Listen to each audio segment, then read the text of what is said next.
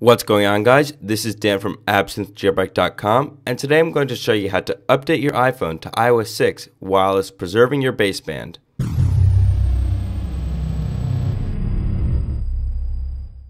So this is crucial to anyone who requires an unlock. And of course this only works for A4 devices, meaning the iPhone 3GS and the 4. First, we will need your iOS 6 IPSW, which you can download by doing a simple web search.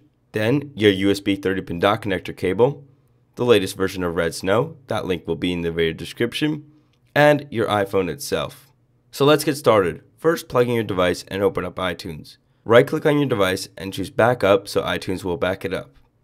Once that is complete, quit iTunes and launch Redsn0w. Click on the Extras button, and then click on Even More. Click on the Restore option. Then click on IPSW. Redsn0w will then ask you to find your iOS 6 IPSW. Go ahead and locate it. In this example, mine is on the desktop.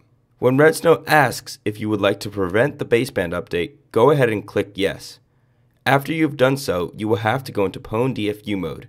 In order to do this, simply slide to power off your device, then choose Next, and then hold the sleep button for 3 seconds, then hold the home and sleep button for 10 seconds, and then release the sleep button, but continue to hold the home button until this screen appears.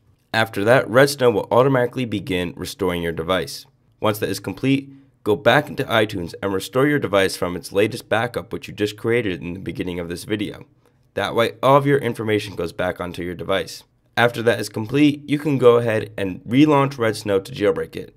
To find out how to jailbreak iOS 6 and unlock it, go ahead and click on these videos right here. So this has been Dan from AbsintheJailbreak.com and I will see you guys in the next video.